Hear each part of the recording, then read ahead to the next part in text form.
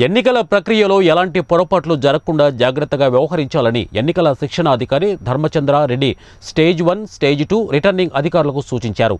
కడప కలెక్టరేట్లోని సభాభవన్లో జిల్లాలోని రిటర్నింగ్ అధికారులకు శిక్షణా తరగతులు నిర్వహించారు.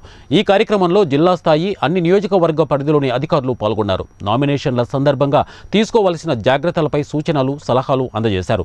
ఎన్నికల నియమ నిబంధనలను పాటించని నామినేషన్ పత్రానికి ఏ ఒక్క పత్రాన్ని సమర్పించకపోయినా ఆ అభ్యర్థిని అనర్హుడిగా ప్రకటించాలని సూచించారు. నామినేషన్ సందర్భంగా ఎలాంటి పొరపాట్లు జరగకుండా జాగ్రత్తలు తీసుకోవాలని సూచించారు. ప్రతి పత్రాన్ని సునిశ్చితంగా పరిశీలించాలని పొరపాట్లు జరిగితే ఇబ్బందులు కొని తెచ్చుకున్నట్లేనని పేర్కొన్నారు.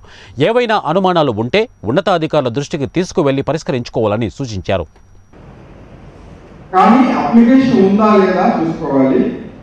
ప్రతి కాలం ఫిల్ చేసిందా ఉందా చూసుకోవాలి. అట్లీస్ట్ స్ట్రైక్ బాంబుతో పెట్టుకోవాలి. ఫైనల్గా నా రిక్వెస్ట్ ఏంటంటే నా క్యాండిడేట్ తప్పనిసరిగా సంతకం చేసి ఉండాలి. అభ్యర్థి సంతకం కంపల్సరిగా ఉండాలి.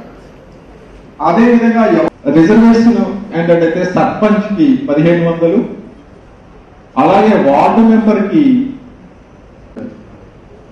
ఈ డిపాజిట్ అని ఎందుకంటున్నామంటే అతను నామినేషన్ ఇచ్చే నాటికి క్యాష్ ఇచ్చిన